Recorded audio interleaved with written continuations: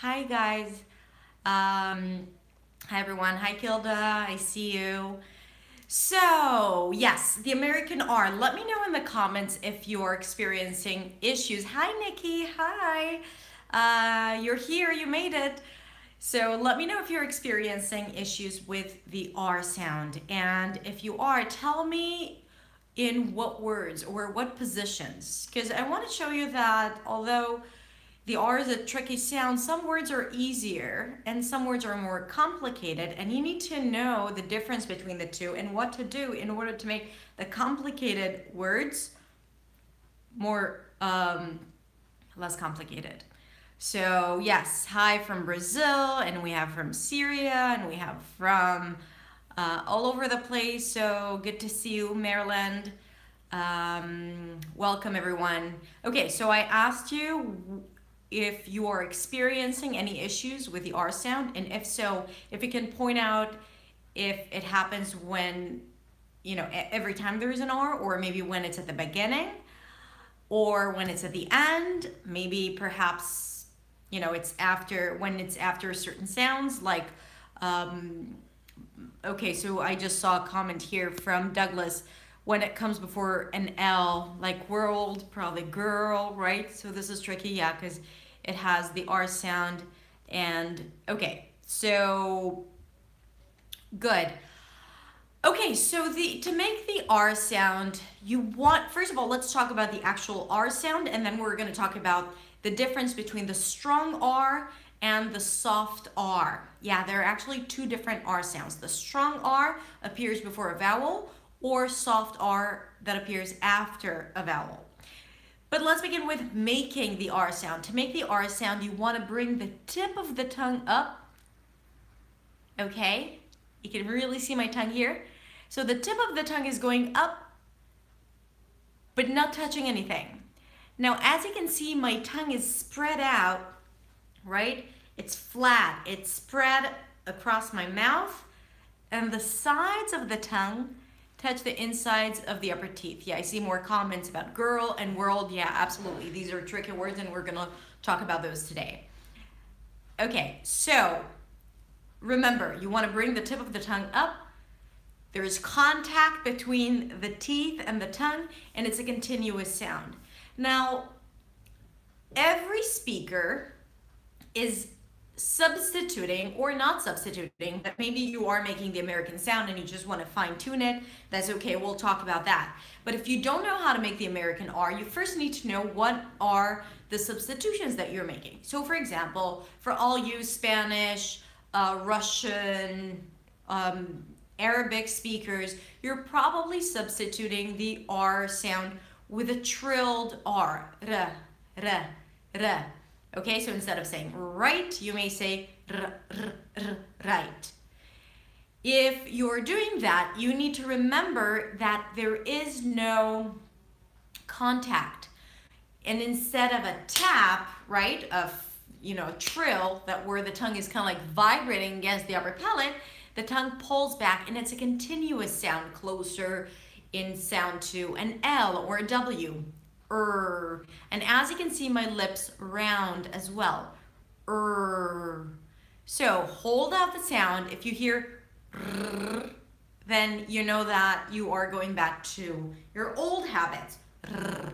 But if you pull the tongue in, er, right? Pull it in, spread it, feel that the sides are touching the insides of the upper teeth. Round your lips, right. Think of making a y sound as in yes, y, right? Do it with me.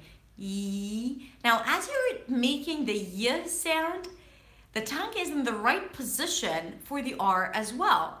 The difference is that the tongue is down here for the y, y. So you want to lift the tongue up. Er. So if you manage to control your tongue, try it by making a y sound and then lift the tongue up. Year, er, er, er, until you hear this really tense R sound.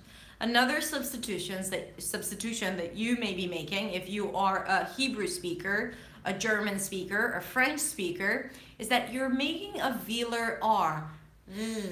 okay, or instead of the er sound. Okay, so in this case, your tongue is down, it's flat, your lips are relaxed, and actually just the back of the tongue is touching the soft palate, maybe the uvula. So here we want to relax the back of the tongue. Imagine like you are pronouncing an L sound. Right? Because for the L, you lift the tongue up. But instead of bringing the tongue up to touch the upper palate, just pull it back a bit. So let's start by making an ah sound and bring it up for an L. Allah. And then bring it up without touching the upper palate. Imagine like you're saying an L sound. You see, it's already changing. And if you round your lips, you get the R sound. One more thing you can try is start with a J sound, as in judge. And as you're pronouncing the pull the tongue in until you feel that the sound is fading out, and then you hear the strong R sound. So that's the R sound. Okay? Now sometimes um, some speakers may substitute it with an L sound right, right, like a light tap. So again, here remember that there is, you know, th that it's a continuous sound. Er, okay? And I think rounding the lips and really feeling the sides of the tongue touching the teeth is helpful here. Er. Okay, so that's the, the actual R, but I'm right now talking about the strong R when it's before a vowel. So let's look at a few more words with a strong R. Red, rain, rough, result. That's when it's at the beginning. It can also be in the middle, like around, already, carry. Okay, so see my how I round my lips? I don't want you to do something like this. I don't want to see carry, carry, carry. so although I'm making the R sound here, carry, it doesn't have the nice quality, the intensity, the volume, care, right? See the difference again between right, right, so my tongue is in the right place, and right, er, er, totally different. Totally different sound placement, sound quality. Think of it think of your mouth as an instrument, right? And when I'm doing this, er, then it's a very small instrument. The resonance box, think of a small guitar versus a larger guitar or a flute, right? And when I'm extending my lips forward, I'm creating more space for the voice to resonate. And then you get this really nice, strong sound. Er, er. Okay, so, so far we talked about the strong R. Now I bet that most of you don't experience issues with the strong R. So what we did here is just fine tune your sound, making sure that you round your lips, making sure that you're not substituting it. And if you feel that you know how to make it, but you always go back to your, you know, your neutral sound, then just practice it by reading out loud or speaking slowly and attentively, making sure that you're nailing every single R sound. If you don't have someone to give you feedback, record yourself and listen to it and try to detect if you are using the R sound that may sound like a W sound at the beginning or you're actually or you're going back to your r or r sound or any other sound that you're making. Okay, so that was the strong R. Now, the secret begins when we're talking about the soft R. Because here's the thing. The soft R is an R vowel. It's an R that appears after a vowel. It is found in words like car, where, here, for. Now we see what happens. What happens if I drop the R? Ka, where, right? I drop the R and it still made sense, right? You understood what words I'm saying and maybe it sounded to you like more like a British dialect or a Southern dialect. And yes, because not all languages pronounce the R in the, all dialects, sorry, uh, of American, of, of English, pronounce the R after a vowel, which means that the vowel is more important than the R. You can actually drop the R and it's still gonna be clear, but if you eat up the vowel and the vowel before the R is not clear, that's the most important thing I want you to take from this lesson. If the vowel is not going to be clear, that's when you, you become unclear. Because if you reduce the ah in car, and you say car, and if you're saying instead of for, fur, it's gonna sound like a different word. And if you, instead of saying short, you'll reduce the o sound, and you'll say something like shirt, and it's gonna sound like shirt. That's a different word, because there's also a, a vowel that is eaten by the R, and that's the er as in stir. Okay? We'll talk about that later. But for now, I'm saying that all those all those five R vowels, R as in car, say it with me, air as in dare, ear as in hear, or as in for, and or as in pour. Five R vowels where the vowel is more important than the R. It should feel to you like you're going down the steps, like the first step is the vowel and the second step is the R. And the R in this case is very, very short, reduced, small, tiny, less than, you know, 20% of the energy that you're probably investing right now. So for example, again, I don't want you to go for car, but car. Once you start hearing the R sound, once your tongue starts going up lightly, that's it, the word is over. So make sure you, you stretch out the vowel before the R so the word is actually clear. Car. That's the ahs and father, but around my, my lips a little more. Guitar. It's not guitar. It's not guitar. Guitar. One, two, three, four, five. Count. Guitar. Guitar. Practice on stretching out the sound. Control your tongue. That's the secret don't let your tongue come up because you want to be done with this word because it's an, an R word. So uh, the secret here is not to engage a lot of muscle work. It's not to round the lips, okay? Not car, again, car. And make it very, very soft. The air, as in care, starts with the eh sound. So you want to drop your jaw here and make sure that the tongue is down. Where, dare, care, fair, compare, right? This is a tricky one because a lot of non-native speakers tend to say compare, were, and then it sounds like were, we were, we were wearing, right? These are two different sounds.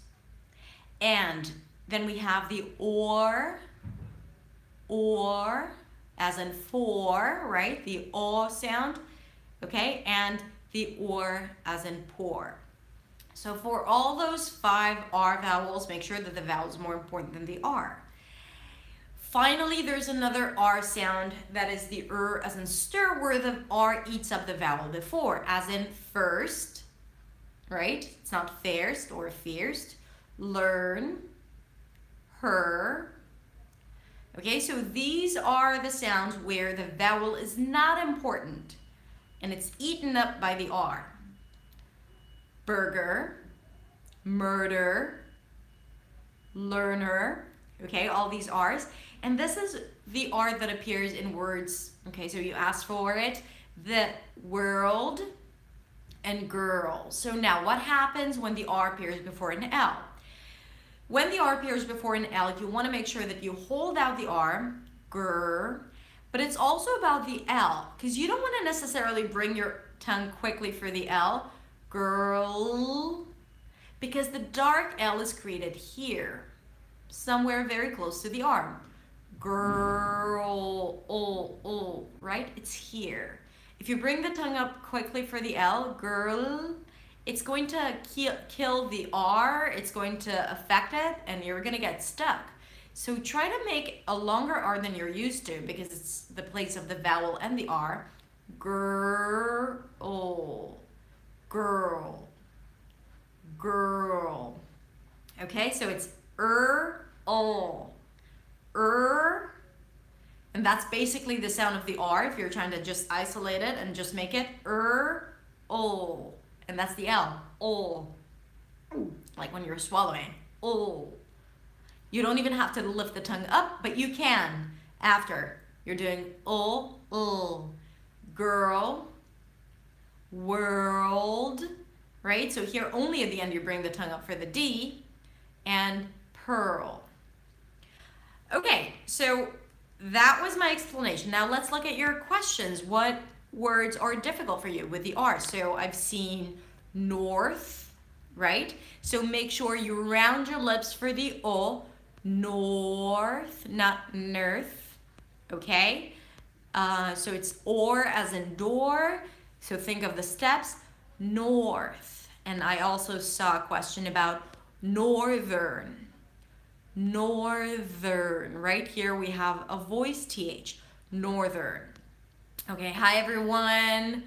We have a bunch of hellos here and people from um, all around the world. Okay, so Nikki's asking uh, how to say train. Okay, ah, the okay, sorry. So she says that the nice, the best way to train yourself is to sing with songs, and I absolutely agree with it. You have some freedom when you're singing along, uh, but also listen to the sounds. So if you're working on the R sound, so listen to all the R's in the song and try to imitate the voice quality and the actual pronunciation. So yes, working with songs or imitation exercises are extremely, extremely helpful. Okay, let me know if you have any other words with R that are difficult for you. So I talked about the R before an L, like world. Okay, the word right. Um, okay, so I don't see any more questions. Okay, so once this live video, live um, lesson is over, you can keep on asking me questions about uh, words with R's because I can make more videos about it or address it in my next live lesson. Okay, so Ginny asking about the word read or read. It's, print, it's written the same. I, I read a book and I need to read. Okay, so both of them have the strong R. One has a high E, read, and I read the newspaper. Okay, so what is this? Resolution and important. Okay, so resolution, you round your lips, that's a strong R. Re, z, schwa, lu, tense u as in food, and then shin, resolution. I actually have a video about it about resolution and about important as well, but I'll explain it. Impor, this is the or as in force. So it's very important to make that open or sound and not impertinent, right? Are you making that mistake saying impertinent instead of important? If so, let me know in the comments. Impor, er, important, important. So, okay, so we have here and here. Yeah, they're pronounced the same. I'm here, or can you hear me? That's the ear as in deer. Okay, so we have a great question from uh, Klausa, Klausa, I think. Uh, how to pronounce rare. Here we have a strong R and a soft R and an E in the middle. It's difficult, but the secret here is to start strong re, as if you're about to say red, red, but after you're done with the e, re, then you lift the tongue up to a very, very soft R, rare, rare. If you feel that your R at the end is too strong, try to imitate a British accent. Rare, rare, right? Sounds British. How's my British accent? Rare, right? And then go back to making a very subtle R at the end. Let's try rarely. Rarely. I was just reading a script with one of my students the other day and the word rivalry was there and I actually had difficulties saying it. My tongue got twisted. Let's do it together. rivalry, rival, uh, rivalry. See, I have this thing with this word. So it's a dark L, rival. So don't lift the tongue up, rival, and then round your lips for the R, re, rivalry, rivalry. Okay, the word, Ahmed is asking about the word prefer, prefer, prefer. These are stir sounds and schwa are. Okay, so the first one is a stir. No, pre. First one is a schwa, pre, and then prefer. Prefer, primary stress on the second syllable. A lot of R here. Round your lips, prefer, pre.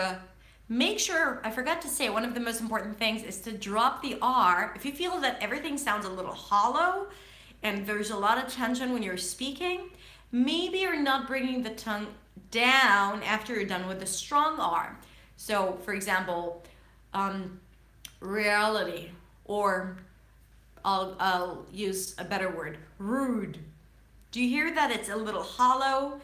I usually say rude, rude, but I hear a lot of my students saying rude, rules, right? And that sounds like this because I'm keeping the tongue up when I'm pronouncing the oo sound. Now for all the vowels, the tip of the tongue should be down, okay? And if I keep it up just because it was up for the R and I'm like, eh, I'm just gonna leave it there because it feels comfortable, then it's gonna sound hollow. Rule, room, right?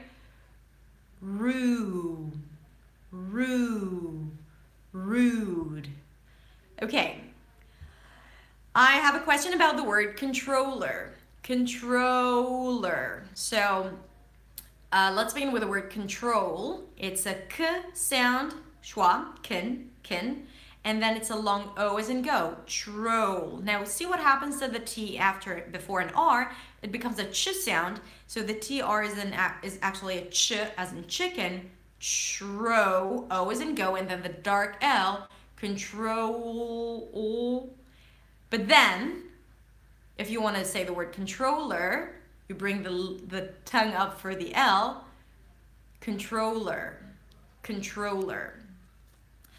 THR words, through, see-through, through. Make sure that the tongue is out for the TH and then you pull it in for the R. Sorry, I keep looking to the side. I'm uh, looking at your comments.